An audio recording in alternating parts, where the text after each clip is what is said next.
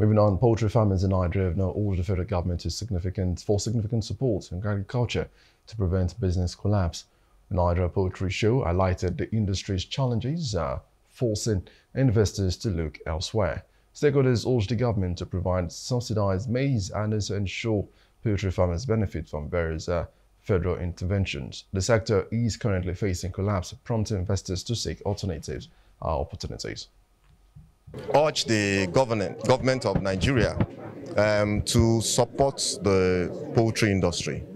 Uh, we continue to say that the poultry industry, the poultry value chain is the most commercialized with an investment of over 12 million private-led. We want to urge government to, to be more engaged in the poultry industry um, so that we could uh, grow.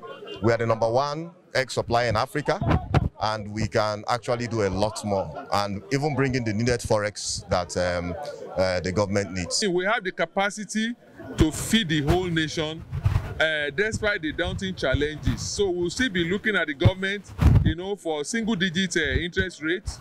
And if, I mean, if possible, it should not be more than four or five percent interest rates, you know, and then uh, whatever support that government can give us. But farmers should be rest assured that this is the way to go and then we cannot do less. Into economic realities, innovative approaches to poultry production and means raw material deficits. We know in Nigeria today we have scarcity of raw materials to produce animal feed, especially poultry feed, and those uh, ingredients are uh, corn, soybean, and all the fiber sources. So we are trying to look at how do we address these challenges.